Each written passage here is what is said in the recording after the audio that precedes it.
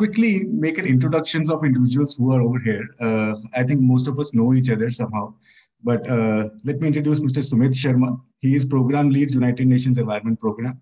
We are glad to have UNEP as partners for these conversations that we have been having focused on environment. Uh, next to him is Mr. Sanjay Khajuria. is Senior Vice President Corporate Affairs at Nestle India. Uh, then we have Tejashri Joshi. She is General Manager Environment at Godrej and Boyce. We have Tushar Ranjan Patnaik, he's corporate head EHS and plastic waste management at Dabur. Then Gitanjali Vats, senior manager packaging sustainability Asia, Australia, New Zealand, Unilever. And we have Suraj Nandakumar, he's chief executive officer and co-founder of Recity Network. Uh, I am Ranjan Raina, I am director and chief strategist at Cause Because. Uh, the idea or say the thought behind Coffee for Cause conversations is primarily to just have stakeholders from the same domain together, sit, have conversations around the subjects, the topics that are relevant, that are somehow related to the environment or social responsibility of the organizations. Uh, this particular conversation primarily is focused on plastics. If we look at uh, 2021, a lot of companies have been focusing on sustainability aspects. The communications from have changed a lot of businesses have been talking about going carbon neutral, going waste, zero waste. So plastic is one of the essential elements in there. We all know that plastic, it's because of plastic that we are talking now, metaphorically or otherwise as well. Plastic just cannot be eliminated. But there are uh, ways to reduce plastic consumption. There are, um, say, strategies that have companies are putting in place to get the plastic, whatever they're using in manufacturing or otherwise, to put it in an economic circular economy model and make, say, uh, some business case around that. Uh, I'm sure Suraj will later on talk about the circular economy in plastics as such. Uh, to lay the context of this conversation, like how we came up with an idea and why we are talking about this, um, what we'll do, I will just start in, in conversational mode. Probably I'll just ask Sumit Sharma to mainly uh, lay the context start on the conversation, give us the global perspective on how companies are talking about plastic or what are the things that they're doing around plastic waste management. And then we can just move on. Anybody can raise hands and say, okay, I want to talk about my company. Or maybe you can tag one another and say, okay, uh, why, uh, what Dabur has done, what Unilever is doing, or probably Suraj can talk about the initiatives that he's working on with the government as well as the uh, organizations. Uh, let me give you before we move on to Sumit, let me give you a dynamics of this small group that we have in here. So I was just looking at the information that is in the public domain about all these companies that are around here. Unilever claims to have collected more plastic in Indian states in 2021 than they used in packaging. So that was a statement that was made by Unilever uh, recently. Dabur claims to have become a first Indian plastic waste neutral FMCG company in India. So we'll hear from Tushar about that as well. Godrej and Boyce is founding member of India Plastics Pact and committed to continue offsetting its plastic quantities by 100%. Nestle made a commitment that 100% of its packaging will become recyclable or reusable by 2025. Then we have Recity Network here, works with the government and corporate groups towards a circular economy of plastics and is helping a lot of these corporates as well as governments on achieving these goals that they have set up. So over to you, Sumit. you can give us the context and global perspective on the plastics, and then probably we'll just give cues to the participants here. Uh, thank you. Thank you, Ranjan, and a very good afternoon to all of you. Uh, I don't think we have met before, but uh, I am. I joined uh, UNEP last year only, and before that, I was working at TERI uh, for for last two decades on uh, various environmental issues. Uh, so here, uh, you know, I was asked to handle this very important and emerging issue of marine plastics pollution. And why I'm saying emerging because uh, you know it's it's not that uh, you know it has started uh, to become large now. It has already was there in in large volumes in different environmental spheres.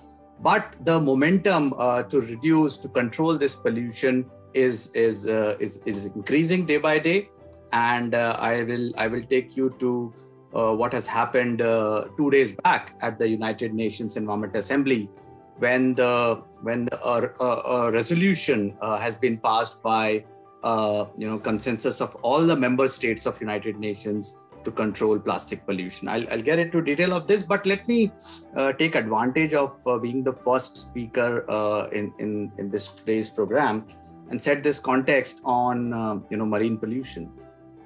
Uh, uh, as I said, it is it is not a prob- problem which is which has started to trouble us uh, in last few years only. Uh, because uh, since 1950, if you see, uh, you know, in all about uh, nine to 10 billion tons of plastics have been produced.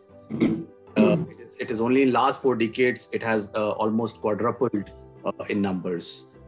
if you see on a year-on-year basis, almost 10 million tons of plastics are reaching oceans and uh, creating problems. And and uh, you know we must understand that plastics reach oceans or river, rivers in different forms. Uh, we only think about big polythene bags or a plastic cup but uh, you know small uh, microplastics which are almost invisible invisible to our eyes are also reaching there. And in fact the bigger ones are also getting photodegraded uh, in the form of microplastics and uh, these microplastics can be ingested by animals and then it can enter our food chains uh, becoming becoming more troublesome for humans. Now coming back to this marine pollution issue uh, and and that is the point where it becomes a global issue because we know uh, like air uh, oceans are also uh, interconnected and it is, it is certainly not going to remain at a country level to control this issue because you know some one country can be a polluter, but the sufferers uh, of that could be uh, the whole whole of the globe. And that's why you uh, you consider this issue as a global concern. However, actions are required at local, national, and and you know continental scales. Now, the problem starts with the fact that uh, uh, almost 80% of this marine litter, which we are talking about, is plastics and uh, you know almost all of it almost 80% of it originates at land and we know that the recycling rates of plastics are extremely low. Uh, uh, in India, it is somewhat better, but to talk about the whole uh, world, uh, it is it is not something which is very now in India, we know as as we say that recycling is somewhat better, uh, and in fact, our overall plastic consumption is actually uh, quite quite less if you compare it with the world average. But the way we are growing, the way our population is growing, the aspirations are growing, the economy is growing, it is going to become even more uh, worse in terms of uh, overall generation of mismanaged plastic waste. And as per estimates, uh, what we what we know now by now is that India is the 12th highest contributor to the overall mismanaged plastics waste in the world. And if we grow by the same rate, uh, we can we can hit the fifth rank by the year 2025. Uh, impacts, uh, let, let me just uh, spend few seconds on it. Uh, we generally think uh, plastics as an aesthetic issue, uh, you know, plastics lying here and there, littered on our beaches, and that does not look good. But that's that's the very small part of the problem. The problem starts when when when it starts to impact the ecological systems, the marine ecological systems, the riverine ecological systems, when biodiversity is impacted and uh, you will be surprised. There are phd theses which which are telling us now that uh, you know the the dung samples of uh, say elephants in, in in protected areas found to be contaminated by uh, plastic particles. Uh, there are reports which are telling us that almost uh, everyone is is ingesting 5 grams of microplastics on a weekly basis. Not just this it also contributes to uh, uh, you know, greenhouse gas emissions. And there are estimates that if we grow in the same manner by 2040, almost one fifth of the total global uh, carbon budget can be attributed to plastics production. Then there are other other impacts of you know what we see in the monsoons. Uh, the, uh, the the the drains gets clogged and then impact on uh, landfill leachates and all these kind of things uh, and and that's what is concerning to to India, to several countries, and now to the whole world. And that's why uh, uh, United Nations, uh, you know, Environment Assembly, which is the highest level where all the member states are sitting on the same table and discussing various issues, have now adopted a resolution two days back, uh, which is known as the End Plastic Pollution towards an international legally binding instrument. Now, what it means is that uh, for the next two years, negotiations will happen between different countries to decide what kind of an agreement which can be brought in onto the table uh, so that all nations can work towards reducing uh, plastic pollution in their own countries. Uh, India, in, in India, I, let me also just touch upon uh, the fact that UNEP is working very closely with the government of India at central level. Uh, we are assisting them on, on several studies related to alternatives, to recycling capacities and sustainable packaging. And we are also working with, this, with the state governments of Uttarakhand, UP, and Bihar, developing state level and city level strategies for pollution control. Uh, let, let, let, me just stop here, uh, uh, uh Ranjan, and uh, you know I, I, I can always come back with, with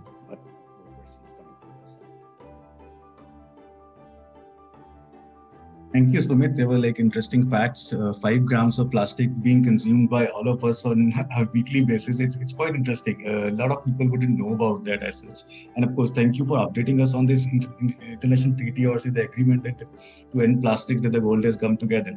So uh, before I move on to um, somebody else and ask them about uh, their initiatives as towards it, should we all? Do you think uh, we are also expecting to have uh, some regulations or maybe some stringent norms coming up for corporates in the coming days with this agreement being signed at the international level?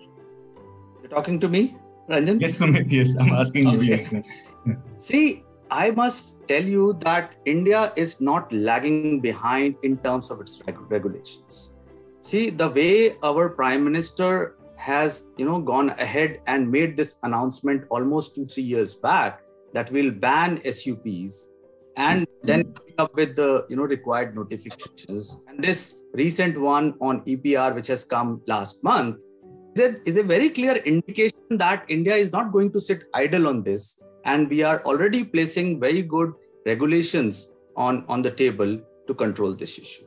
I think the problem which india encounter at some point of time is of implementation of these regulations how you're going to enforce this what will be the monitoring mechanisms to ensure that the compliance is really happening on the ground or not. And uh, i think that is uh, uh, is something which is going to challenge us uh, more than than setting new targets uh, based on the global team which we are talking about. Thank you sumit. Uh, sanjay I, I, I, want to come to you now. We've heard from sumit. We know about the stringent rules and say they say they say what we say the uh, indicators of plastic usage as such by the governments will be coming in soon probably and there are also some stringent norms in there. Uh, but there's also a responsibility or say uh, of a corporate. And we have already talking about whatever is being used or say being consumed at, at the corporate or being produced at the corporate it's going back. And we want to go plastic neutral by 2030 or something. So what, what are the initiatives there at nestle probably you can just give us a perspective on that and then tag probably unilever or Dabur like how they're also working on the same yeah, so thanks a lot, Ranjan. Uh, first of all, I think uh, thanks for inviting. I think it's a it's a group of friends, and we we are all part of one group or the other. So we keep talking. Uh, Sumit, thanks a lot. You know what what you explained, and I think going forward uh, we will see a lot of uh, developments coming in. So Ranjan, to your point, I would actually put it in three four broad heads. So one, as you mentioned in the beginning itself, uh, we are committed to be 100% recyclable or reusable by 2025 and i'll explain what what it really entails. Second is to use you know whatever minimum requirement of plastic for the product packaging. Reduce virgin plastic usage. Again you know uh, my colleagues on the call are already aware that uh, food authority has also passed regulations on rpet it is now pending before bis and hopefully it will get uh, uh, notified soon, which will again open a window of using less virgin plastic. Third area, which is very important, and we work very closely with Suraj on that, is really to make sure that the governance models they become applicable. See, end of the day, as you said, everyone has a responsibility in this area. So I will talk a little bit about our project Hilldaari, maybe a little later, but that I want to park here at this stage. Uh, we are also uh, happy to report that since 2020, uh, Nestle is a plastic neutral company in India, which really means that the quantity of uh, post consumer plastic waste which gets generated, we actually manage uh, the similar or more quantity. You know, so a lot of initiatives are going on uh, and I'll really pick up two, three, because I don't want to take more time, but we will get into this discussion more. So one is, you know, how to make sure that the packaging which is being used is easy to recycle. So between plastics also, and my colleagues here know, there are some which are easy to recycle, some which are more difficult to recycle. So we are on to this journey of using the plastic, which is easy to recycle, you know, monomaterials and so on and so forth. Wherever possible, you know, take plastic out, replace it with other things like glass or metal. That's another initiative which is going on. Uh, I'm sure many of you know, but um, matter of great pride for us is that our ready to drink products like Milo and Nescafe, we took out the plastic straws and replaced it with paper straws and 30 million of these. So huge initiatives going on. Uh, at some stage, I also want to talk to uh, you and the group about the consumer behavior changes and what are corporations doing about it. Also, how all stakeholders, when they get together, Ranjan, magic happens. And Suraj, I'm sure, is going to pick it up. Uh, we are actually working on this model in five hill, hill cities and one beach, which is Dalhousie, Nainital, Mussoorie, Munnar, Mahabaleshwar, and Goa. And the changes which we see there when all stakeholders get together are amazing. And I will take this opportunity to talk a little bit about that in the later part of the discussion. Sure. Th- thank you, Sanjay. Uh, Gitanjali, I'll quickly come to you. Uh, you. you. would also have a perspective. Like there are a lot of uh, initiatives by Unilever as well in this domain. And like Sanjay mentioned, when the all stakeholders come together, uh, I'll, I'll come to that part as well, probably in the later part of the conversation. But you can talk about some of your initiatives at Unilever. I think, uh, first of all, thank you for uh, having me on the, such a prestigious forum. And uh, I want to congratulate uh, Sumit and UNEP on the milestone uh, step that uh, you went took, and it is um, it is something which we have been working from the Unilever end as well in a very big way, and really really excited for this to actually materialize. Um, now coming on to uh, the you know the discussion that we are having in terms of what are the few initiatives, I would say uh, you know uh, around uh, around 2017 i think we were the first organization to talk about uh, plastic commitments. And when I say plastic commitments, they meant uh, the entire gamut of it, starting really from that uh, we that by 2025 all packaging and this when I say I'm not talking about HUL, I talk on behalf of Unilever as well that we would be converting all of our plastic, like 100% of it, into reusable, recyclable, and compostable formats. That's the most audacious task, which the team has taken. And we have been publishing uh, you know uh, annually in terms of the progress of that as well externally then the second topic we talked about was uh, while it's important to uh, you know bring circularity it is also critical to control and curb the problem at uh, source which is essentially reducing the plastic uh, you know virgin plastic footprint as, well now while you reduce there are other ways which we can do which is about increasing more amount of recycled content in our packaging which we said that we will do minimum 25% across our packaging portfolio, which is which at that point in time was the most difficult thing, and I'm uh, now really feel you know excited about that. Uh, when you really set up such targets, how you really bring the external ecosystem around uh, you know along with it, and how the infrastructure then develops around that. So now there are many recyclers who are actually you know finding value in waste converting into recycled content and then we are putting it back in our packaging again thus creating the most circular model that we could and the third bit that we talked about was that how can we uh, look at a collection which my uh, you know fellow colleagues also talked about sanjay talked about it and uh, you know uh, in detail that how plastic neutrality is extremely important that whatever amount of packaging that we put out it's important to take you know to manage that in the most environment friendly way. That's the most important thing that we as corporates can do. And that's something which as hindustan unilever we have achieved as of 2021 as well. So these are the few things i would say while they might look just a you know three prong approach but it really covers the entire gamut of plastics that how we can reduce them, how we should recycle them, use more of recycled content across our packaging, and then take care of the waste as well that we generate.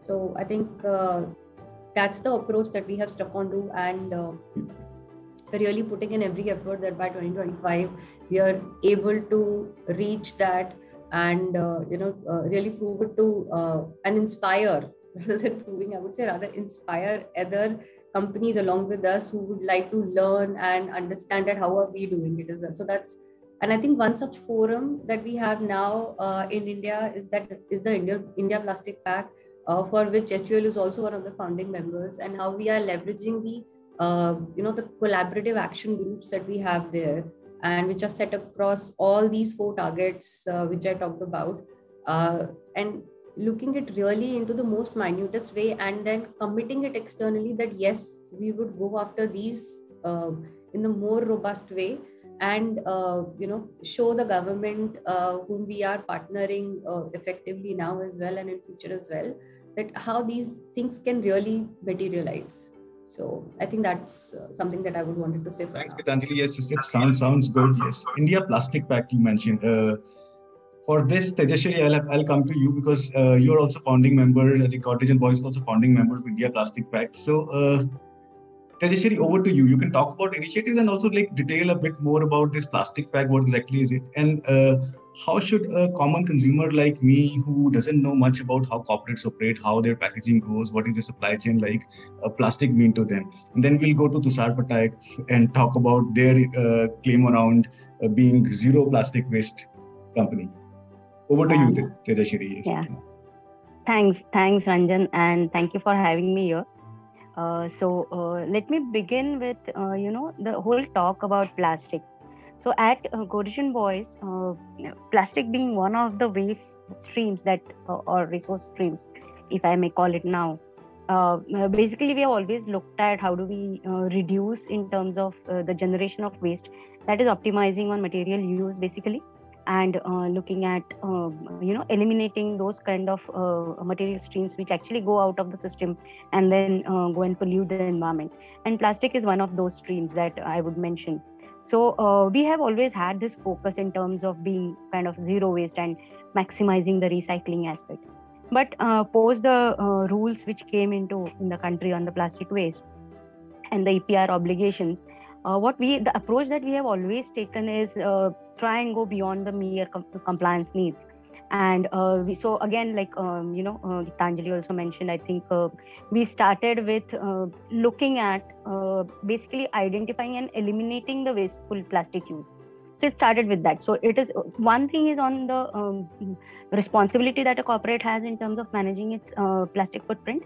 The other is basically reducing that. So there are many places that we found that there is a lot of wasteful use or overuse of packaging and we started with that. So uh, bringing down what we are using as packaging uh, uh, uh the use of plastic then looking at uh, how do we reuse those plastic packaging plastic within within our frameworks to the extent possible so that ultimately you know it is less of the plastic is going out of the system out of our, our control and premises and then ending up outside um, into the environment. Uh, we also looked at are there substitutes for uh, plastic packaging so all these has been our uh, initiatives over the last three years since uh, three or four years we, we have we have been doing the epr so switching on to uh, more biodegradable more uh, compostable uh, uh, you know, material for packaging where we can eliminate the use of plastic. That's been our third you know focus area.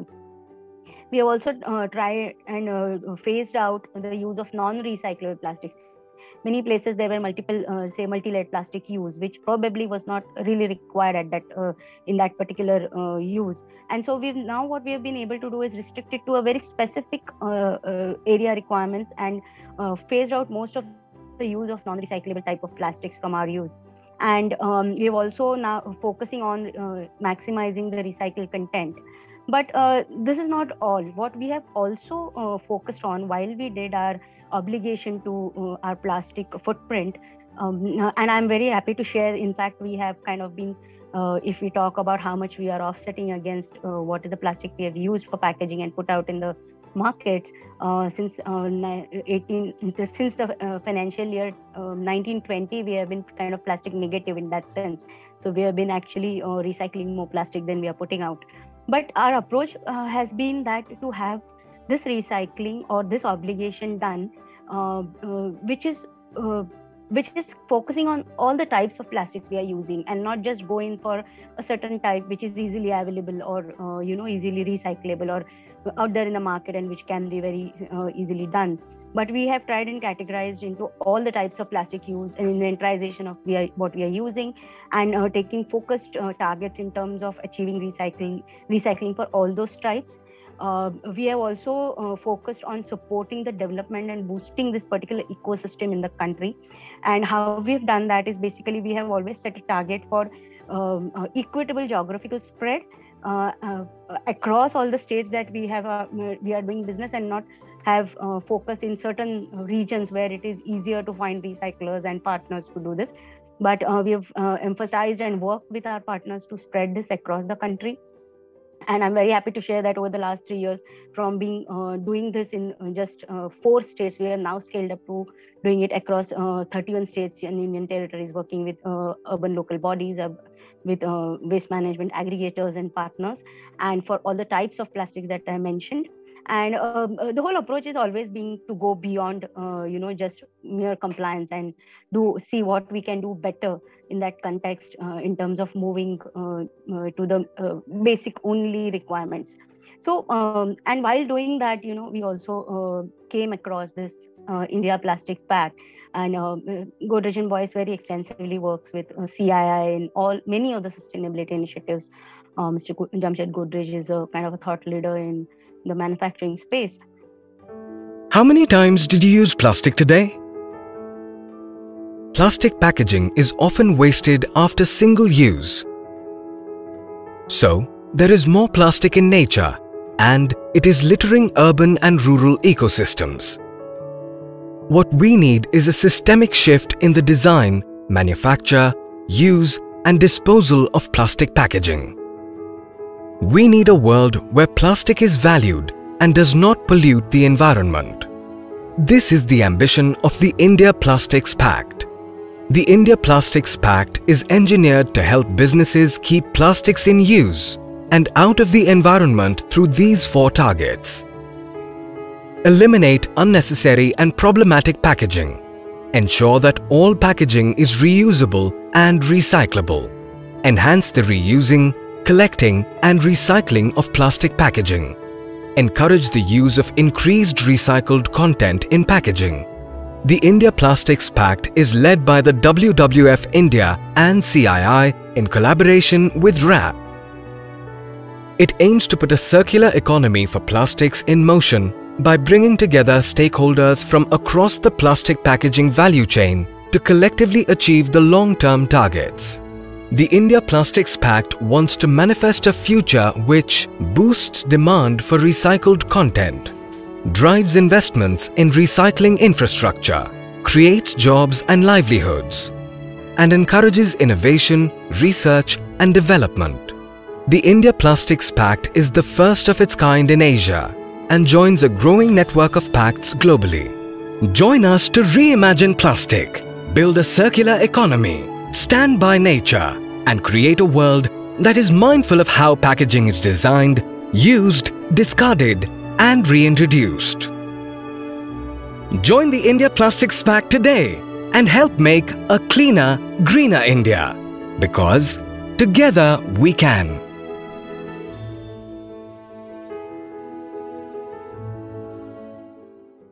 So all these principles that I was talking about quite aligned to what uh, the India Plastics Pact were proposing to put forward. So uh, this basically pact is uh, based on the circular economy principles of Ellen MacArthur Foundation. Uh, uh, and based on the new eco plastics economy principles. And um, this was one of the first kind of pacts in Asia already there are some other pacts in the uh, uk in um, you know the other uh, regions of the world. But in asia this was uh, proposed to be one of the first pacts where uh, the whole intent was to bring together the ecosystem to increase the reuse collection and recycling of packaging and uh, you know uh, try and see how it uh, uh, how we eliminate this packaging or the plastic going out of the uh, recycling stream or or management stream and goes out avoid going for it to go out in the environment. So um, so the pact then defi- defined four focus areas uh, in terms of what they intended to do. And again, like it aligned with us because it also spoke about uh, defining the list of unnecessary or pl- problematic plastic packaging. And I already mentioned that was our focus area. And uh, therefore, to take uh, these items and take measures to address them through redesigning, through innovation, making design level changes, and how do you substitute that use the other focus area and what it talked about at, uh, is you know try and make your plastic packaging to be 100% reusable or recyclable so like i was saying you know you eliminate uh, uh, those kind of problematic plastic packaging which are not reusable or recyclable. So again uh, this was a focus which aligned with our principles it also uh, tries and promotes more recycling. So uh, there are certain targets that the pact is um, uh, mentioning say like i said 100% uh, pa- plastic packaging to be reusable recyclable. 50% of plastic packaging should be effectively recycled and um, then have at least 25% of recycled content across all plastic packaging. So all these were aligning to our uh, kind of goals and we thought uh, it was a good um, idea to be one of uh, uh, the founding members of this along with all um, you know enlightened corporates like uh, i have my colleagues over here and um, so that and it's it's kind of supporting our intent. And i'm i'm sure the india plastics pact being uh, will bring that knowledge from outside which probably currently uh, we are struggling to find in the country or those insights and those experiences where which other pacts have experienced while driving this in their own uh, countries. And that will help all of us to develop this ecosystem to um, and bring together you know uh, the stakeholders who would help uh, uh, all all of us achieve these targets that we are setting for ourselves right is you know, uh, I'll again come back to you. Uh, sure. before uh, we move on to Tushar and ask about the Dabur's initiatives, I want, uh, uh, it's like I'm curious. So the keywords here are uh, identify what all kinds of plastic do we have and where all we are using it in the packaging. Then how much it could it can be made reusable or recyclable. How much of it can be eliminated? So I have a question for you before we move on to Tushar. it's primarily, can you give me an example of any product that used to have a plastic which could be eliminated or any any any area within Godrej and Boyce that could be eliminated and you have done with it? Yeah, so uh, see, um, I'll tell you what Godrej and Boyce challenge of Godrej and Boyce is. Uh, we have 14 businesses, and 14 business units have very varied kind of products. Like it starts from manufacture of locks to manufacturing of components for uh, the India's defense programs or our aerospace programs. So you can see the plethora of kind of products that we have. And then we have consumer electronics as well as we have our uh, furniture business. And every product has a different kind of packaging that it goes out with. But uh, having said that you know at every point of time or every product we have tried to redesign. So i'll tell you very simply um, for locks as a, as a, product like the locks uh, what we have done is we have completely uh, switched over from you know uh, a lined kind of packaging uh, say a simple cardboard box which had a multi-layered uh, uh, box where there was a cardboard and then a thin uh, plastic sheet. we have switched over to completely biodegradable cardboard, recycled cardboard box. What we have also done is switched over from the use of printing from multi being multicolored to a monocolor uh, kind of printing which you know uh, the whole idea is to make uh, the packaging more and more recyclable so this is one example another example i can cite is in one of our products that we have uh, uh, our uh, refrigerators or our furniture, there are many packaging sheets, EPS sheets or thermocol sheets, which are required for packaging the product. So uh, we have looked at honeycomb structures. We have looked at uh, hard cardboard uh, structures, which are which are itself um, uh, pr- produced using recycled uh, cardboard.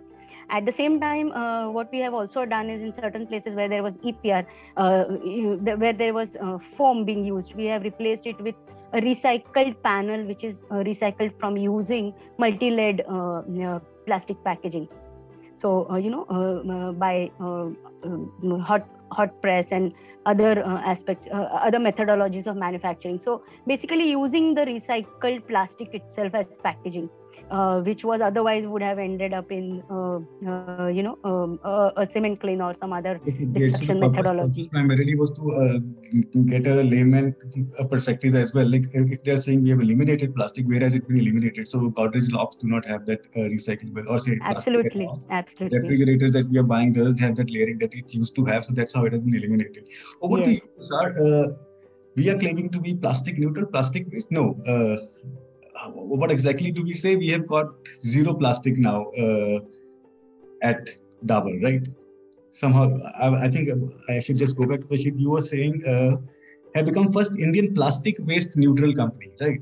Uh, the same was uh, something claimed by Unilever as well, as well as uh, almost by Nestle too. So, what, what do we exactly mean by going waste plastic neutral? Does it mean that the plastic that is being uh, Okay, let, let us hear it from you. You're, you're on mute, Tushar.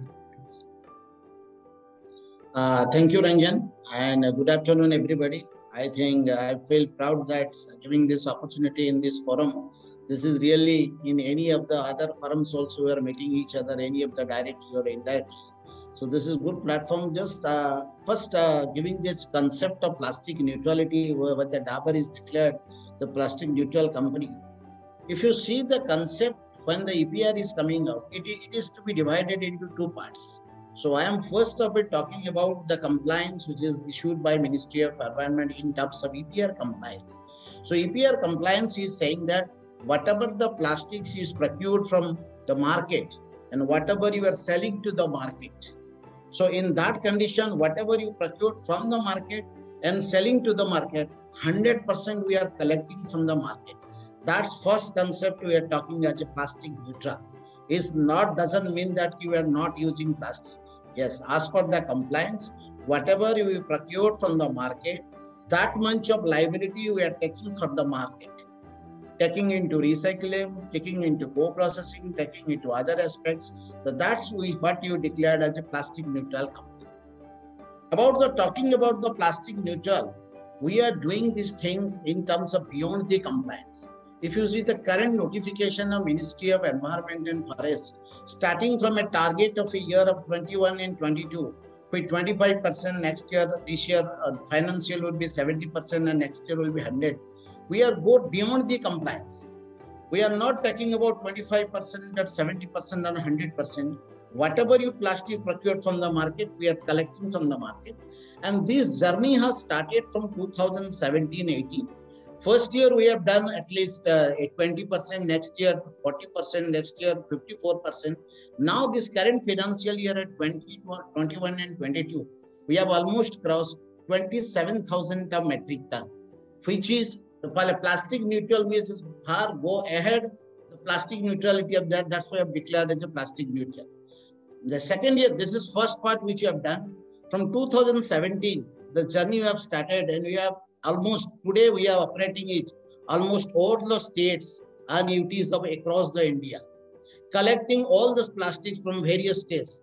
Because as for the requirement, when you are working in more than two states, you are selling your products across the states.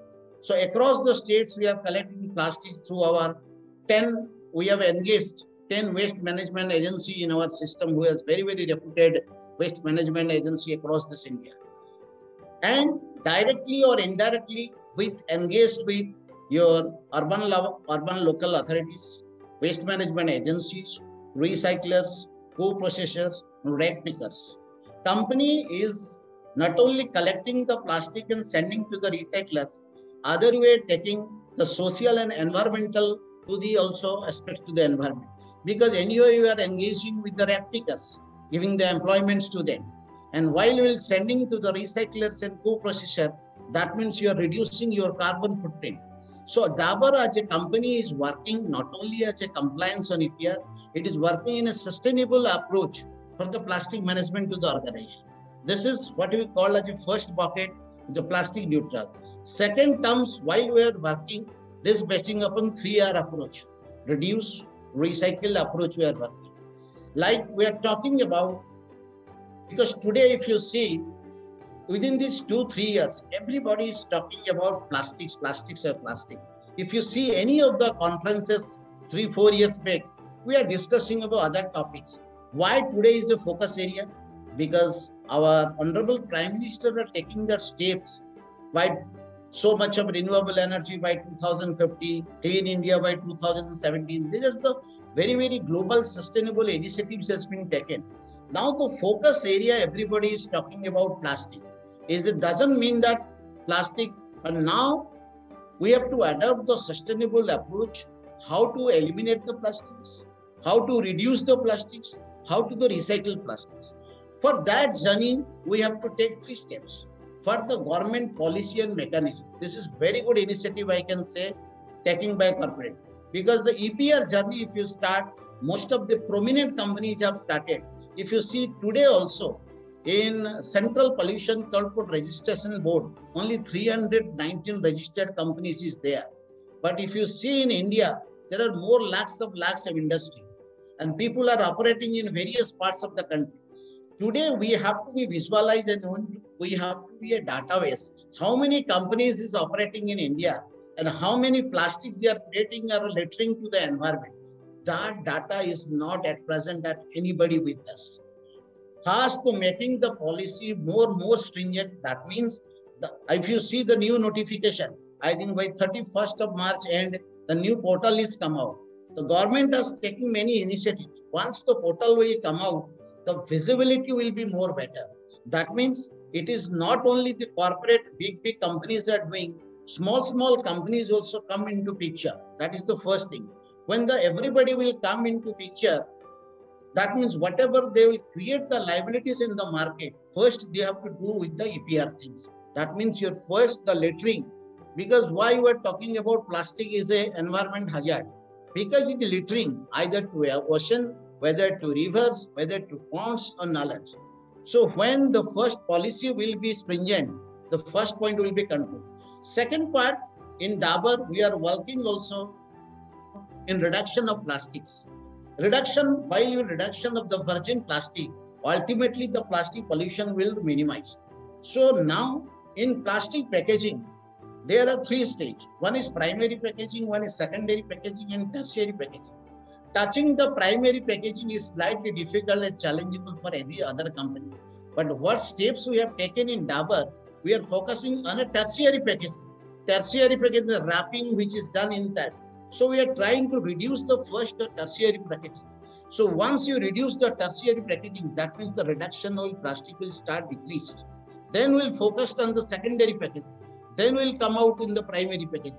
So many things are on the pipeline and our team is dedicated team is working so that whatever the target, the, apart from the EPR, the second target which is given by government from 2025-26, recycled plastic content on the three category of plastics. Rigid plastic, you have to go for 30%. Flexible plastic, you have to go 10%. And MLP, you have to go 5%. If you see the targets which is given by government, not of in any of the global companies, because I've been associated with many of the European governments or anything, this is a very, very stringent target. Looking at the current positions of India in structure, infra infrastructure, in terms of technical capability seems to be the target is very, very challenging. Yes, when there is a challenge, there is a lot of opportunities there. So definitely, we, with this kind of conferences and collaboration with the people in India and outside India, how we can go to the recycled content. Why the recycled content is challengeable? Because this is challengeable because in India, the most most foremost thing is is not so waste is not collected from the source. Where the source segregation will be done, this will be more easier to plastic recycle content or recycling will be more easier. While this concept is very, very robust and comes in Japan. In the, if you go in Japan, we have already discussed with many of the people, their source segregation is very, very stringent. Apart from this EPR, apart from the 3R approach, Dabur is doing another approach. It's a My 10 kg campaign. Many people know in the site, this My 10 kg campaign we have started just three years back. I'll hold you here. Tushar, I'll hold you here. Uh, this My 10 kg campaign, it's an awareness one. I'll come back to you on this because we'll, I'll ask everybody on the awareness perspective. Uh, the very relevant point that made was made by you is like it's just not the large corporates that have to look at the plastic waste management. It also the smaller uh, stakeholders, smaller companies which are using more plastic, and they might not even have resources to use alternatives and get into identification, elimination, recycling, and reusable plastic. Uh, Suraj, you are working in this domain for quite some time now, and you have been able to connect several dots already. Uh, you have corporates on board, you have a working model at several places with the government as well. Uh, what's your perspective on this? Primarily, first connecting the dots, getting all the stakeholders together, and then what are the alternatives that you have been able to provide? So, talk, talk us, talk to, uh, let us know about the model that you've created around circular economy of plastics. Let's start from there. Sure. I mean, thank you for having me here but I think it's a very exciting time to work in plastics in India. I mean, back in 2016, when the conversations were ripe, uh, everybody was in principle trying to figure it out how to make this change. But today, when you speak to everybody, the conversations are very, I mean, people have measured what matters, you know, and there's been significant change in the thought process and number of items. Because primarily, if you look at the government mandate is there, if you go down to the street, and if you speak to a chai person as well, and he'd say, Swachh Bharat is something that he recognizes. So there is a very strong willingness on the ground for people to improve the quality of life. Second part is that brands have made significant investments in the research, in collaborations, in efforts to kind of revive their products. There is that kind of pull factor. If you go speak to the state governments, they have very stringent targets and mandates to kind of fulfill this conversation if you go speak to commissioners of cities, there is a very earnest desire to participate or to push the initiative forward. If you go and speak to a waste worker, that is where the fun part starts, is because right now there is e-shram card, there is an occupational ID, there is an awareness that there is a value in participating these kind of conversations. And then we go to speak to the political uh, part and the administrative part there is an awareness, there is a target, and there is a willingness to participate in activities like this. So the model, in essentially, if you put it to this, is one is collective change. When I am as a citizen of India standing in a city, and when you want to make a concerted change at the ground level, when these kind of climate or environment exists, making that tangible change becomes possible. And to make that change, you need to be uh, these kind of initiatives or thoughts need to be invested and believed in into also, right? So back in 2017, Mr. Sanjay Khajuria was the first person who believed in us. And that is how what the birth of Hilldaari did happen. The foundation of the idea was to bring the waste worker, the commissioner, and potentially an MP of a pertinent legislation on the same table to bring a collective change. Because when does change happen? When a subject becomes priority. Back in 2016, the subject was not priority I think when you leave your house, when you shut your house, that's where you keep the garbage outside and somebody's supposed to pick it up. The conversation became relevant when all these stakeholders why is an MP speaking about waste? Why is a commissioner speaking about waste? Why is a waste worker? Suddenly, all these different people became relevant. Now, collectivism has to be followed with a, a theory of change, right? There has to be a measured impact in what you do.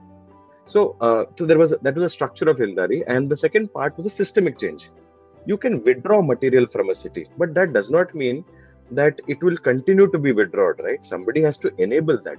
And that muscle memory in a city how do you create that?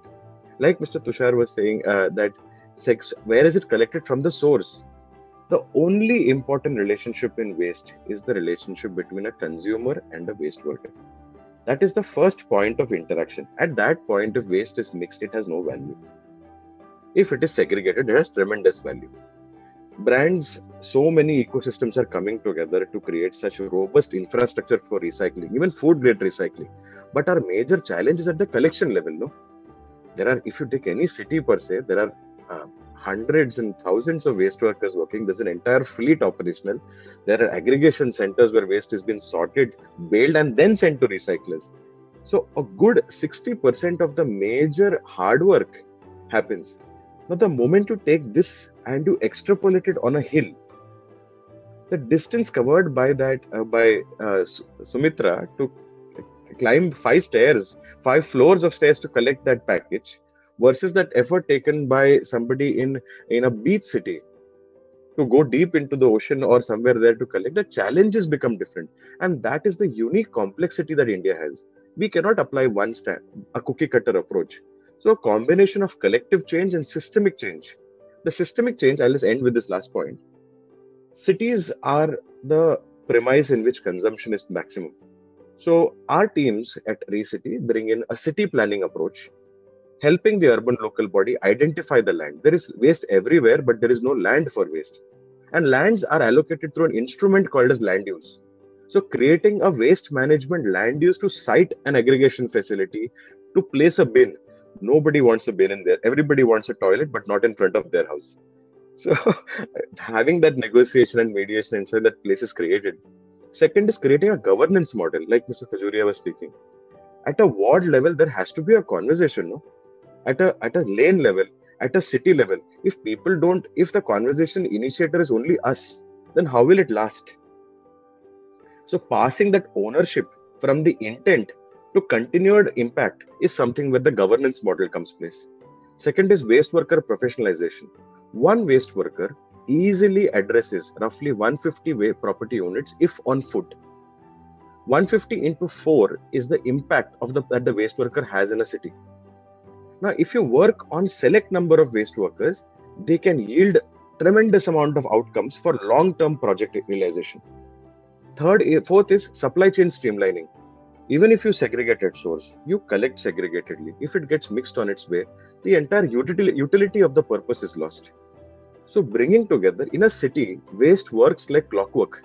9 o'clock in the morning waste is picked up then it is put into a van then it is kept segregated goes to a particular material recovery facility or a composting pit if anything happens in between the waste gets mixed and that is the so much effort has gone into waste no? so that streamlining is important second is from a technology perspective it's important to create some kind of visibility like mr tushar was speaking from a uh, from a national perspective but at a city level also there are people who are concerned about this uh, tell me there is not one Indian who doesn't want to live a better quality of life. And I think that ownership comes with data also. So, a cumulative of the systematic approach with urban local body as the front row, front seats, and we working with them to improve that capability and the expertise is the combination what Hilldaari is, and is the and this is the very very intrinsic effort required in every city in the country. That is 4,400 only Yeah. so yeah so first point like uh, the first round of conversation let's let's let's be uh, about what i what has become clear to me is obviously the intent is there so we have these organizations corporates which might have uh, which some of their products have a cutthroat competition on the shelves, but they're sitting together talking about plastics and they're looking at say collaborations as well and as partnerships. So the yeah intent is there, of course, uh, not just uh, the corporations as well as the government as, as and the consumers as well who are buying these products. Now, uh, consumers themselves do not really know primarily uh, about the segregation part. Even at home, when I buy a Nestle curd, I don't know it should it go the shell should go in the dry waste, but it has got a wet curd in it, so should it go in the wet waste. So that's what Mr. Khajuria probably you, you, you can let me know later on probably now itself because let's let's keep it in a conversational mode. Somebody can raise hand and let us know like this is how it is. Uh, and second thing that you mentioned is data we mentioned identification of plastics. We'll have to figure out where is it how in what what state it is how it has to be used how it has not mm-hmm. to be eliminated. Do we have enough data available? Do we know how much of it is being produced across india? How much is it, it, it is being recycled? And how much of this data can be relied upon? Uh, sumit probably you can mention it and how what is the uh, steps taken by the corporates to identify their data as such? Has it been all identified? Has it been tracked so let me just say a few things on this, Ranjan. Uh, so I, I, fully agree with what Suraj said. I mean, data is the starting point for it.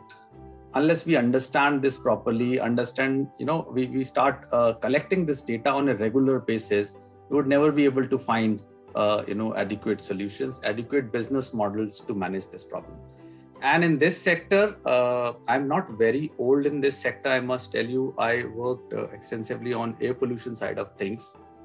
And in that uh, 10 15 years back the situation was very similar when when the data on air quality was very limited. And now uh, you will see that uh, you know we all talk about aqis and what does it mean how it impacts our health and it changes the whole uh, dynamics and creates that political demand for you know action to be taken on ground. A similar thing is required here which has to be more backed up by data. And i think that is what uh, suraj was also hinting towards. Uh, i mean basic data set the total plastic waste generated in india i doubt uh, whether it is 3.3 million tons or not. I mean i mean that's the reported figure.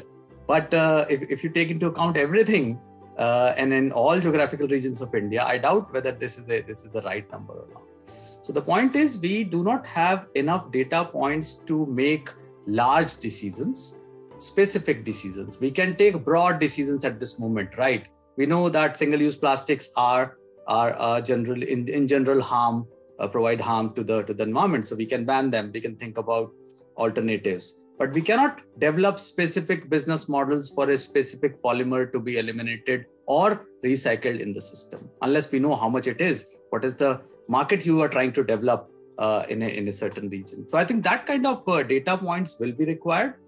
Also on uh, on uh, generating awareness. I mean uh, uh, the concentrations of air pollutant levels i mean when when you heard them first time you didn't correlate it with your human health. But the moment now you realize that you know it is it is going above 400 now you you tend to put your masks on you put masks to your children and this brings the elements of uh, you know that concern uh, for your own health for others health so i think uh, data has a very big role to play both for management and also for sensitization of uh, different stakeholders including general public which is essential to create that demand uh, at the political level it will be interesting to know the zone that I'm living in. Like I get to know the air quality index of Greater Kailash area is this much, and I should be wearing a mask. Uh, waste generated or the plastic waste generated in this particular geography is this much. I don't know how this data can be measured, but if it's available, uh, and it would urge the citizens as well to, take some action that your area is generating this much plastic, you got to work upon it. Uh, Mr. Khajuria, where should my dahi ka dabba go? Can you hear me? Yes, yes. Okay. So, uh, yeah, I, will tell you about your Dahi Ka Dibba, but um, I think picking up from what we were discussing, yes. there are quite a bit of learning. At least, you know, I always make notes, and by the time I think I finish, I would have finished uh, two papers of my handwritten notes to be uh, learned from.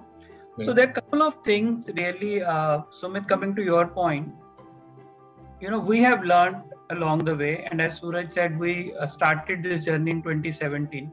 So while there was a journey towards plastic neutrality using less virgin, virgin plastic and so on and so forth, one of the areas we were very cognizant about was that we as consumer need to know, Ranjan, the question you asked. And then we started looking at, let's say consumer is able to segregate. And this is what we learned from personal experience so you are segregating but when the uh, person comes to collect if that person mixes it all the effort which has been done at your end actually goes waste so in Mussoorie, when we started the pilot with Suraj and his team, we looked at right from the time when a consumer segregates. So there were volunteers who were going uh, house to house literally. Uh, after uh, some point in time we also started to put qr codes to see you know which householders are segregating which are not. And we didn't stop at two way segregating. We actually did four way segregation and some of the things which we saw there were really amazing. These volunteers will go with these files and to show what is dry what is wet what is uh, medical. So they would actually give examples. And these are very well done files. So that was step one.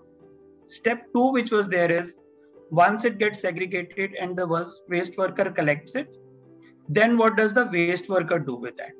Again, lot of training. In fact, we saw vehicles which were moving from one place to the other. Ranjan and the colleagues on the call, one of the big learning for us was how much hard work the waste worker does. I think in our living, sometimes we forget the most difficult job is being done by the waste workers. Are they recognized enough? So with Suraj and his team, we said we want to put one of the key parameters for our program, which is respect for waste worker, recognition for waste workers. So we went, and every time we would go, we would have lunch with them. We will sort of, you know, recognize their work. We would uh, sit with them and the stakeholders, including authorities, which are urban local bodies in some case, all on one table, take their inputs. I remember one day we were moving in Mussoorie, and one of the waste workers said it's so difficult to actually lift these heavy things. And like Suraj said, I can assure you, if you were to walk with waste worker one day, uh, you will need two days of rest because you go down and you go up.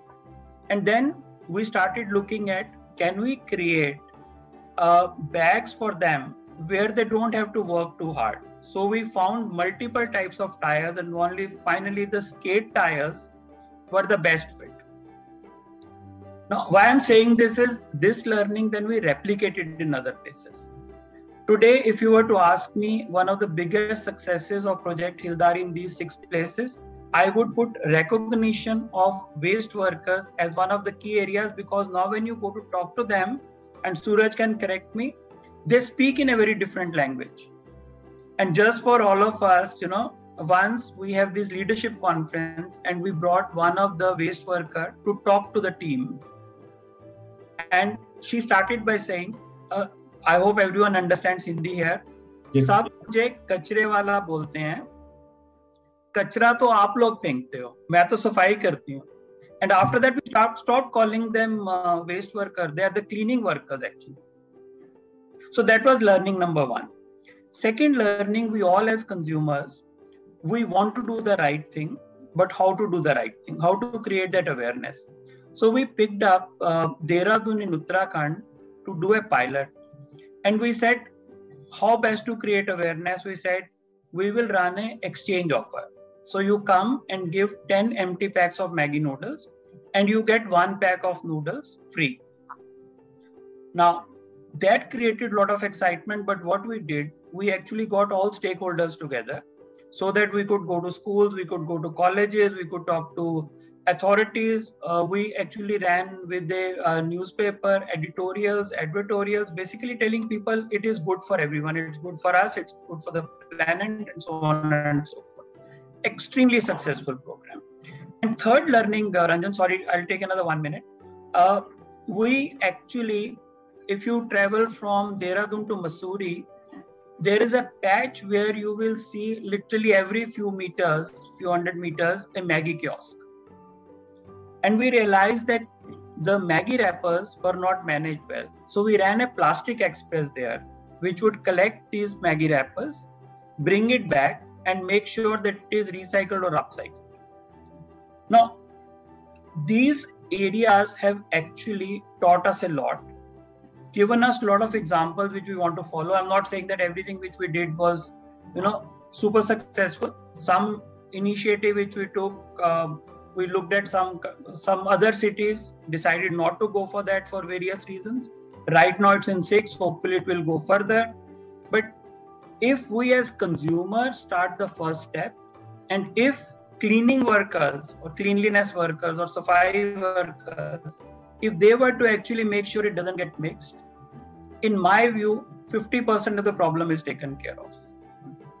And once you take it to a to a warehouse where the segregation happens, in fact, uh, I remember once we went to see a uh, warehouse where all the plastic was coming in, and the gentleman, the supervisor there that day was very upset what had happened was he had kept dry one side, wet another side, and it rained. And it rained heavily, everything got collected. So, you know, uh, end of the day, I think there are a lot of new initiatives which are going on. Uh, plastic is something which is becoming extremely important. In fact, if you look at even from a consumer lens, which are the three areas consumers are really uh, careful about? air pollution, water pollution, and no plastic pollution.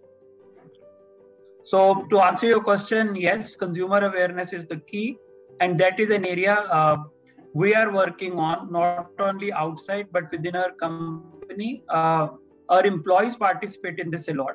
Uh, when we run uh, on Ocean Day, Sumit will be very happy to know when we ran a volunteering program uh, in 13 different locations, over a thousand of our colleagues and partners came just to clean the place.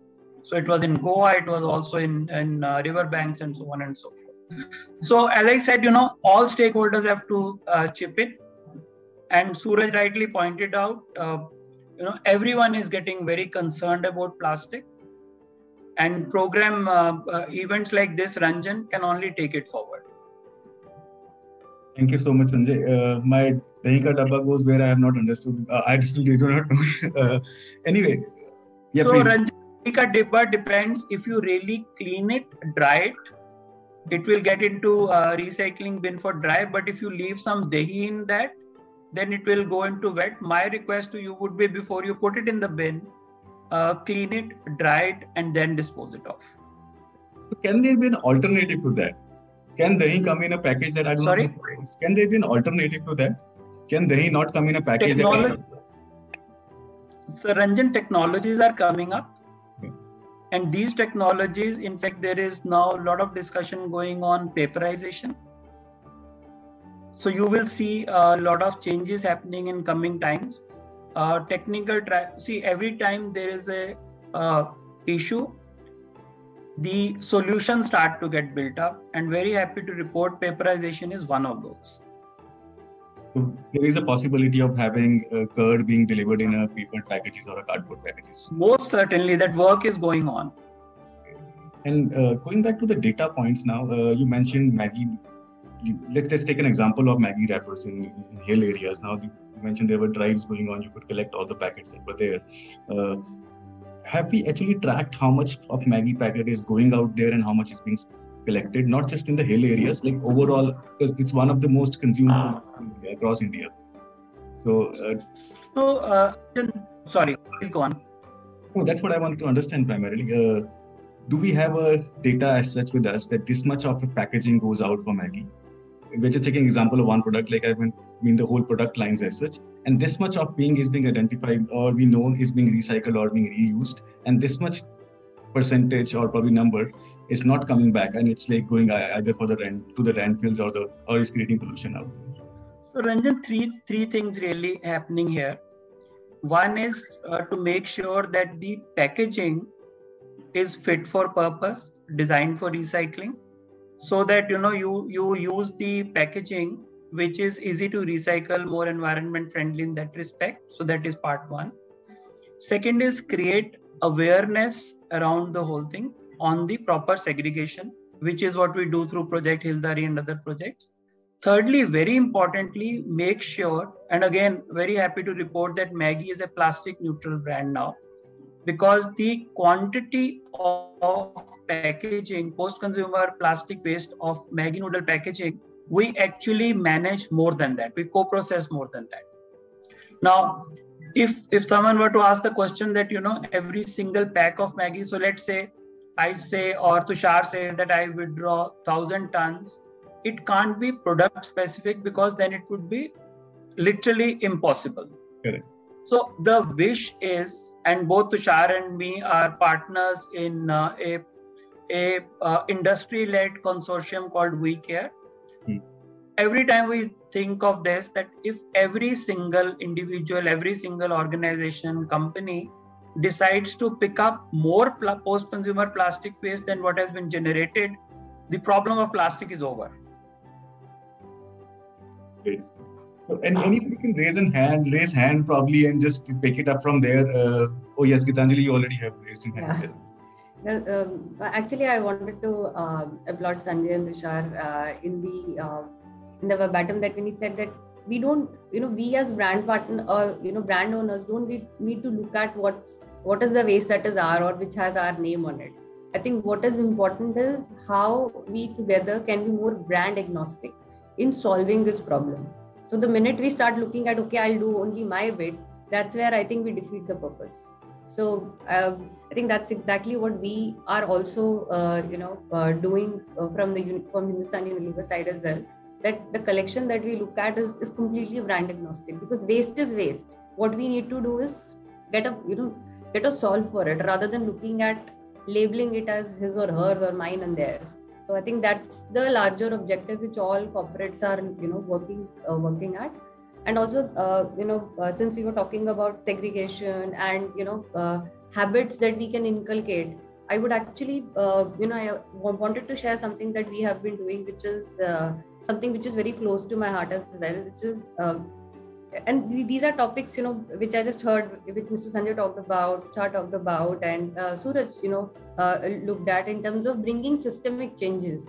Now, uh, while we as corporates can talk about commitments and targets, which we can do, but what we do, what we can bring a change is is in the consumer behavior because that is something which is most important like you uh, i mean um, uh, in, you know on a more lighter note you were asking about where does where does my dahi ka dabba go these this is an actual burning question which is there in every household that we have right now now we at hul we have you know uh, taken up that target of doing that home to home activation where we are partnered with organizations like uh, UNDP and Zinteo. Now, these are our change partners through uh, which we drive this kind of change, where we go, uh, we have uh, taken wards, and we also talked about that we need to own some wards and work towards them. So, like in Mumbai, we have uh, D ward, where uh, our partnership with Zinteo is extremely successful, where we go, we have, where we adopt housing societies,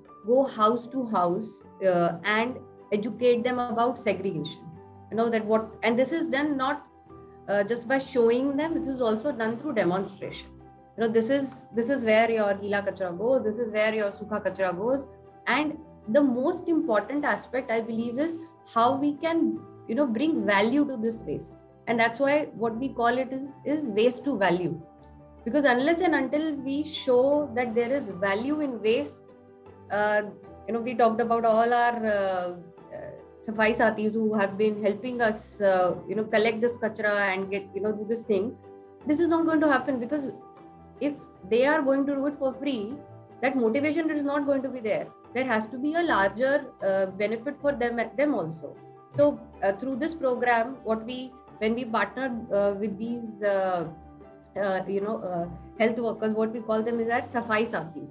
That's the title that we have given them they are the they are our partners and they are the one who are helping us bring this change uh, and we call these centers as uh, swachhata kendras now this is something you will find as uh, there are uh, four such swachhata kendra where we do the drive waste segregation itself now you will find uh, we educating these safai sathis about polyethylene क्या है polyester क्या है uh, आपका HDP क्या है because हर एक waste का एक एक पर्टिकुलर रीसेल वैल्यू है तो जब तक हम वो नहीं सिखाएँगे तब तक बहुत मुश्किल है किसी के लिए भी you know to understand that why I should be even separating it out Now that is what we you know we do at our our Swachhata Kendras. Now these are there in uh, so Mumbai is the pilot city that we have because we believe if we are here we should be the uh, we should be working on ground and bringing this change around. Tanti, what have been the outcomes of this awareness? I'm sorry, uh, what has been the outcomes of this awareness initiative? So, because a lot of companies started doing it, and uh, I know of corporates, I will name them, that they pulled out from their awareness campaign. They said, uh, We are spending so much on awareness, but at the end of the day, we are not getting the outcomes as such. People are not still segregating at their homes, or they do not have resources or time to do that. So, have you been able to figure out uh, what has been the outcome, how it has impacted in the last few couple of months, probably? When you started, how much time it did it take? So uh, what we actually tell them is that why you need to segregate, and at the same time we also show them what is the value that we are going to get out of it. So uh, most of the time when we get these feedback, so we give them forms to fill and get get feedback in terms of uh, from that uh, what do you call that from that ward collection center itself that whether now the increment in the dry waste has been coming or not now, of course, if I say that yes, it has happened, it will be my job would actually be done, but that's not the case. This is a journey which we have. We also find it difficult, but this is something which we have strong belief in, and that is why I said this is something which is needed to be done. And so, just linking to this thought is the thought that any sort of a change like this can also come in only when uh, the children of our uh, nation also start doing it and that's where there's another program that we have we call it as waste no more it's a basically a digital curriculum which we have started with Zintio, where we educate kids about the waste segregation the habits associated with it and why we should be doing it because I mean, when my daughter comes back home and tells me, Mama, you're doing this wrong, that is where I think the change begins. And that is why all these curriculums are now aired on DD channels. They are a part of the NCERT courses as well. And slowly and slow, uh, you know, uh, steadily, we are trying to increase this, uh, uh you know, dissemination of uh, knowledge also. Wherever we are able to partner with panchayats, we give them this curriculum so that they can also, you know, do this segregation uh, on their own also. And uh, I want to touch upon the point which Suraj mentioned that this can't happen with just corporates doing it. This is where the, you know, the, uh, if I were to take the example of Mumbai, MCGM uh, partnership comes in extremely handy. They are the one who help because we are not the one who will have the land, we're not the one who will have the, you know, the wherewithal. It's only the collective effort that can bring this sort of a change. And I'm extremely proud and happy that these kind of associations have been just sprawling, you know, uh, very, very successfully. It's very easy now to talk to uh, the MCGMs and ask, ask, them that this is the change that we want to do, and this is their first priority as well. You know, uh, long gone are the days where. Point, getting the point here, so it's like collective effort. Uh, so what I mostly do is after the conversation, I just try to pull out the keywords. So it's here collective effort, uh, awareness, and of course you mentioned children the gen z yes. and the millennials are going to ask difficult questions from us anyway so yes. they identify with the cause they know what plastic means or what pollution means uh, Tejashri, yes. you had your hand up uh, and then we, mr Khajuria yeah so just uh, you know taking this point ahead uh, and i would uh, like to share uh, a, very interesting story in terms of our own experience on this as you know you know we have a large campus in Vikhroli in mumbai and which kind of houses around, uh, if um, give and take in a normal scenario, would house around 50,000 people just working in different, uh, you know, either staying on the residential in the residential areas, working on our commercial uh, areas or in the industrial areas, etc. And um, uh, so long time back, not uh, in fact not after the plastic rules, but around 2014, we thought we um, as part of extending our corporate principle of you know diverting waste going to, into landfill uh, we thought why not make the whole campus zero waste to landfill? And uh, it was you know the conceptualization of that whole thought on such a large campus was itself uh, uh daunting and uh, it was kind of scary because it started with inventorization basically to understand how much is the footprint that we are generating as a multi-use uh, complex and from there it began and over the years around it took us around one and a half to two years to really stabilize the whole system you know for collection, putting uh, forward collection points, getting it to a certain place in central location where we had processing of this waste. And we realized that this campus was generating around 10, 10 tons of waste every day, which was going to the overburdened uh, landfills of Mumbai. And uh, we started with that, and uh, around it took us two years almost to stabilize. But what we learned in the journey, you know, uh, that uh, so this kind of creating awareness about uh, you know the whole waste segregation bit and how why it is required what we uh, our campus is a, was an ISO 14000 certified township, which was one of the first in the country um, uh, uh, under the environment management system. But when we went to the residents to say that please segregate your waste, they used to say, why should I segregate when you know after it leaves my house, it again gets mixed into the same bin uh, by the collector and it goes off where I don't know. So what so the whole thought was we need to first put in a place for the end of pipe treatment and uh, handling of the waste and only then preach on uh, segregation. And that's how this thought of making the campus zero waste to landfill became uh, began. And um, we learned so much in fact from the uh, real these uh, segregators or uh, the people who are going to work on real segregation of waste. Uh, so whatever you may say at the point of generation segregation, there's still a lot of mixed waste which comes to such facilities.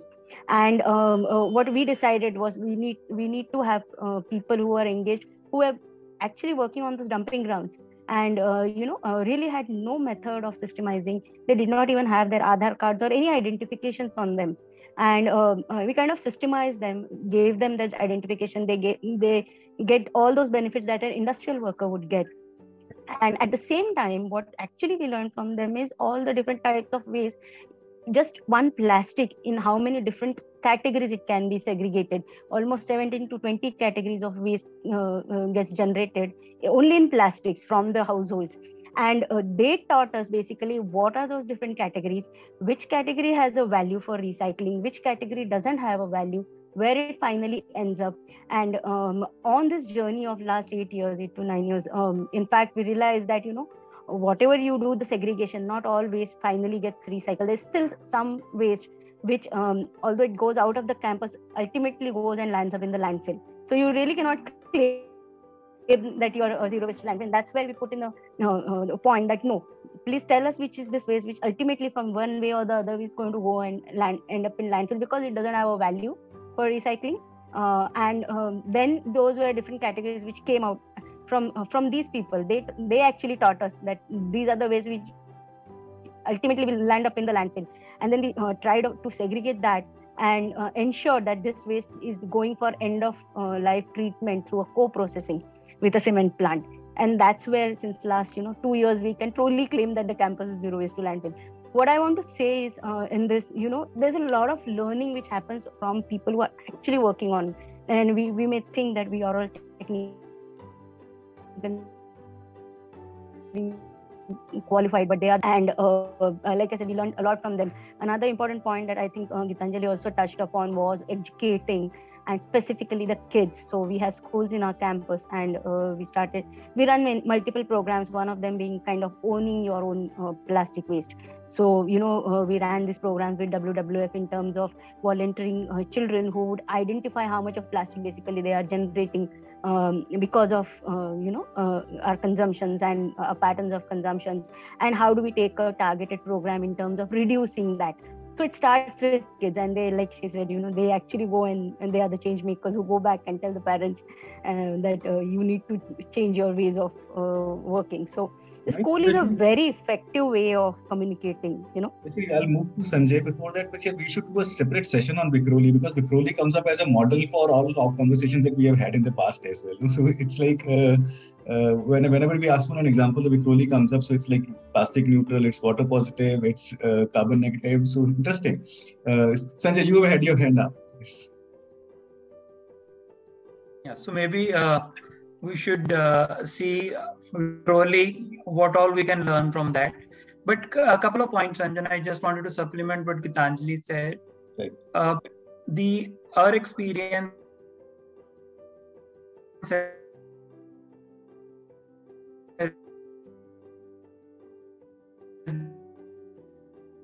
been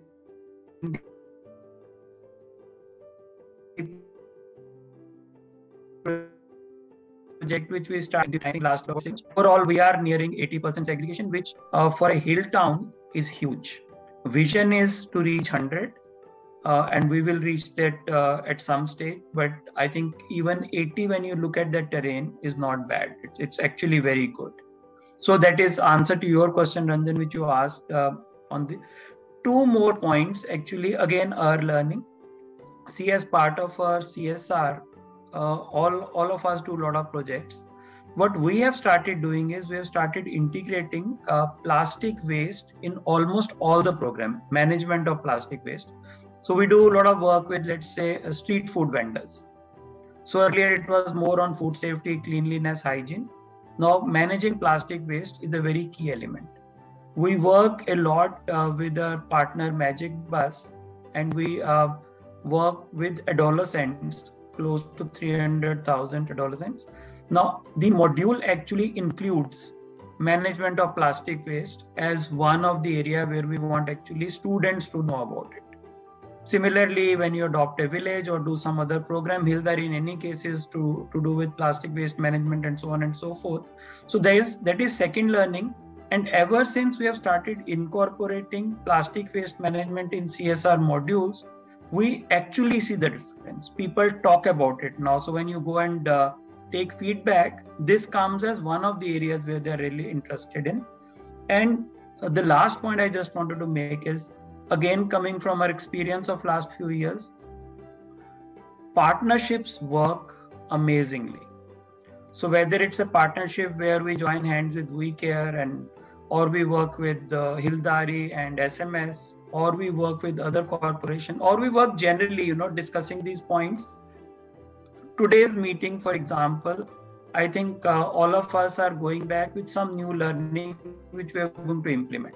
So one of the areas where i think we uh, and i think it's our responsibility as corporate citizens to see how we can join hands with each other to see how we can scale up this program.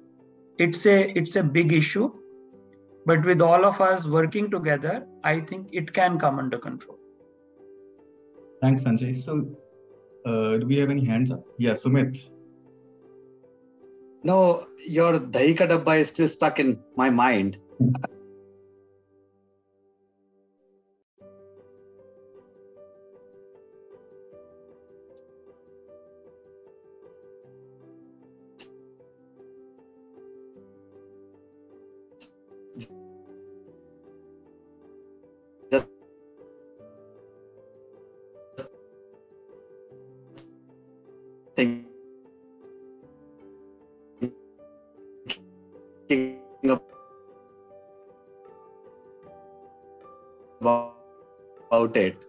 Or any other brand, think about uh, a container which can go back and you ensure uh, hygiene and all those kind of issues, but you don't create an alternative which can have some other impact.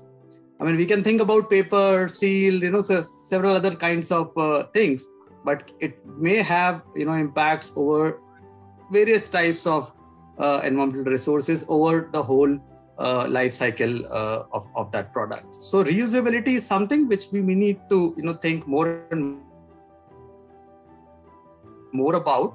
And uh, you know another thing i i i'm just remembering when when used to have those chaats at at uh, you know uh, at the corner of the streets. We used to have plates, you know, plastic plates or steel plates to have those, you know, tikkis and golgappas.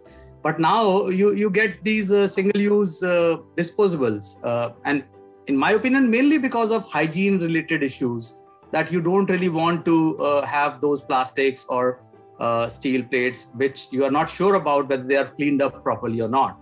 Now, if you can ensure that that uh, you have some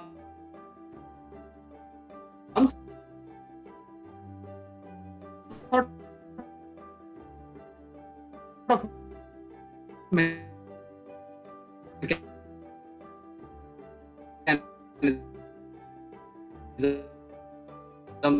some machines so very well put uh, sumit. One is definitely food safety hygiene which for a food company is always the top priority. And second is the life cycle assessment you know.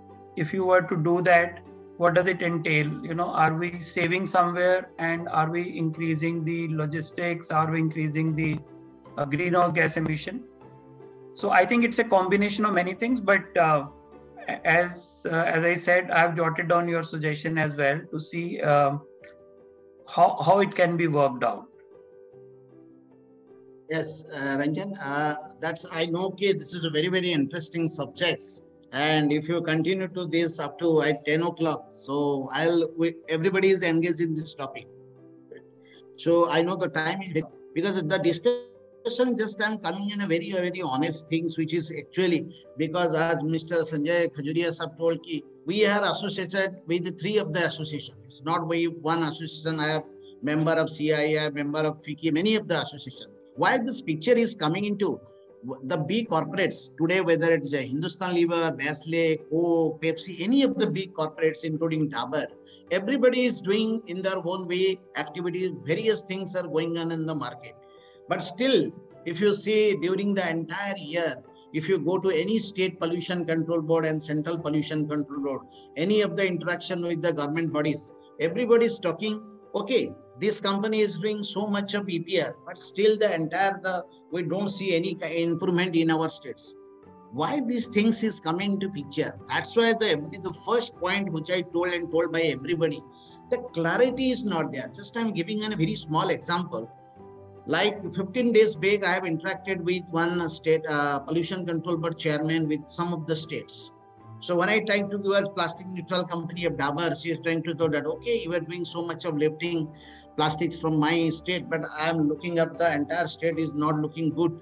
Why these things is coming? The things is the picture is not clear. if I'll ask any of the states, if any of the states is operating any parts of the country, they know how much plastics is coming to their states, how many number of industries are there, how many industries are registered under CPCB, uh, CPCB under plastic registration, how much plastic they have produced. So these are the times when the picture will be clear. Then we'll come to know that, okay, there are certain big corporates is working let's 40% or 50% of the plastic. And rest of the 50 50% plastic is lying on the environment whether it is going to drain whether going to ocean because corporates can do it but the strict rules and regulation and data clarity when will come into picture the other things will automatically taken care of and that is the real scenario in spite of doing a lot of efforts by the corporates still people are saying the pollution is there, pollution is there, because it's the only tip of the iceberg. It is not the entire ocean. You cannot do it for these things. So that a lot of clarity, policy. And very last point, if you see the recent uh, 16th of February notification, Ministry of Environment and Forest, still it is confusing the people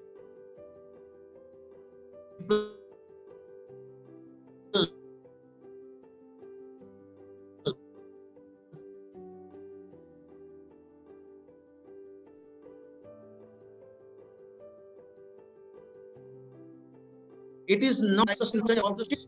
It. Maybe people will take the big state like UP, Madhya Pradesh, Uttar Pradesh, uh, Maharashtra, and everything. Maybe in northeast part, nobody will take care for that. And somebody will come out from the northern state. Oh, northern, nobody is working here because the policy has to be very, very clear and crystal. Otherwise, these things will go on, go on, go on, and definitely we are working. Everybody is working, but the picture will not come out uh, operation is success, but patient is dead. At least that things will come into picture. So with this, uh, the time is very, very short. I don't want to elaborate, but this is a very, very interesting uh, so, so yes, sir, we are, we are into last minute of this conversation. So interesting, very relevant points. So you are again coming back to the data as such like, uh, and it has to come either from the government. It, it has to only come from the government. They have to track who's bringing in what and who's collecting how much and who's reusing and recycling and how much is going to the landfills or to the oceans, right?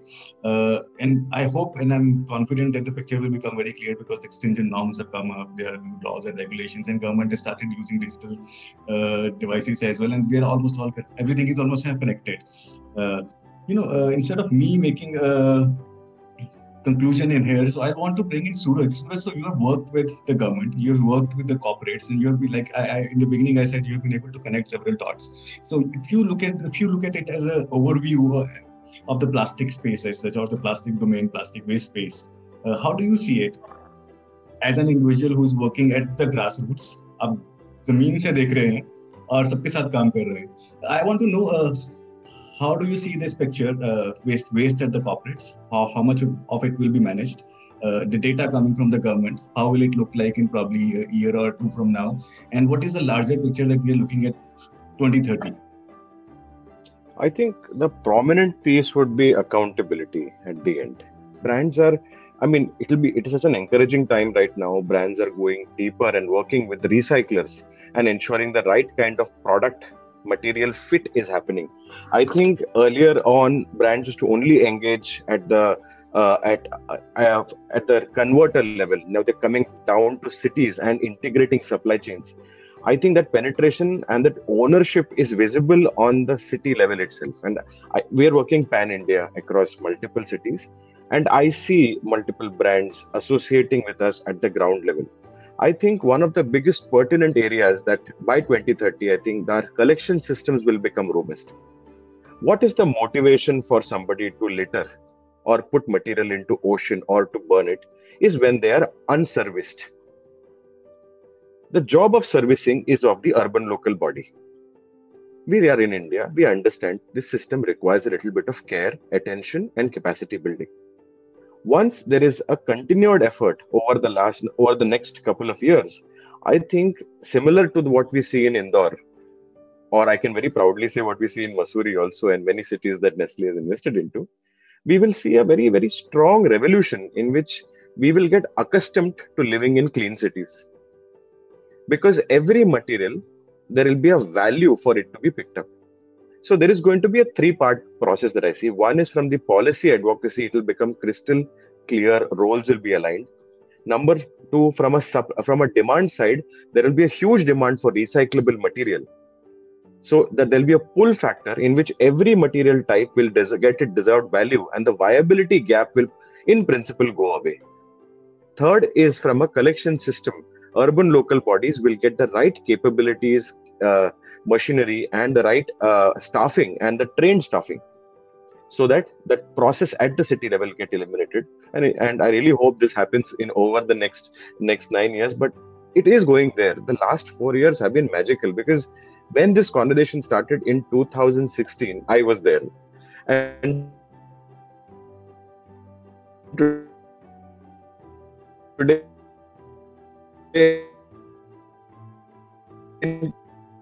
2021 when this and that is the fun part they've invested into the science and I really am very, very optimistic that all the stakeholders will come together and India will be a shining example for many, many developing countries and developed countries to observe. Yeah, that's my point. Thank you so much, Suraj. That was also a very positive note. Yes, and what we are looking at in 2030, yes, it's, it's just not uh, so.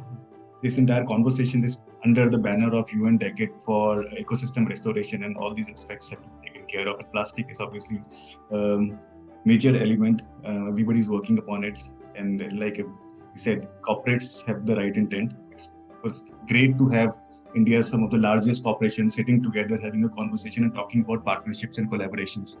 Uh, and the interesting part that Mr. Khajuria also mentioned, corporate social responsibility. So the responsibility, uh, it's it's just not the CSR mandate that has come from the government that we are looking at, but we are also utilizing that as an opportunity to work on sustainability aspects of the company, which includes the plastic waste management as well. Uh, we create a good report out of this. Yes, Gitanjali, you have a hands up. Yes. Actually, I uh, wanted to just elaborate on uh, one of the points which Suraj mentioned that, you know, uh, in terms of hope and uh, then what Sumit mentioned that why can't we look at other alternatives to materials itself. But uh, you know, I have a very good example to share where uh, we started a pilot uh, for dispensing products. The way India used to dispense milk earlier, we used to we used to carry bottles along with us, get the milk, and not buy those packets. That's a model that we recently started piloting in Mumbai. And extremely happy to say, share many consumers turned up with their old bottles to actually fill the packs on the machine and take it back rather than buying a new bottle. Now, if that's not changed, then what is? So that's what I want to share. Great point I added, Gitanjali here that it may, does make sense. Like it's again talking about going back to the basics. It used to happen earlier, then the plastic came in and the things changed. A lot of it's just not about milk. It was it was a lot of packaging that used to happen around liquids. Uh, yes. Even the solids used to come in the jute bags and all which have taken place like plastic has replaced them. So yeah uh, there could be another session on the alternatives how corporates can get into the alternative and talk about the interesting uh, uh, probably going back to the basics and introducing those. But then uh, it's indispensable.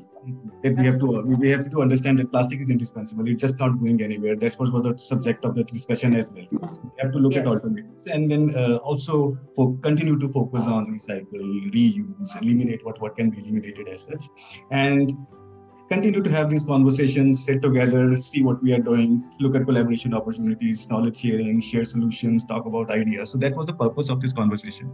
Uh, we are seven minutes ahead of time, but that's all right. Uh, oh, not ahead of time. Uh, we should have concluded by now. That's all right.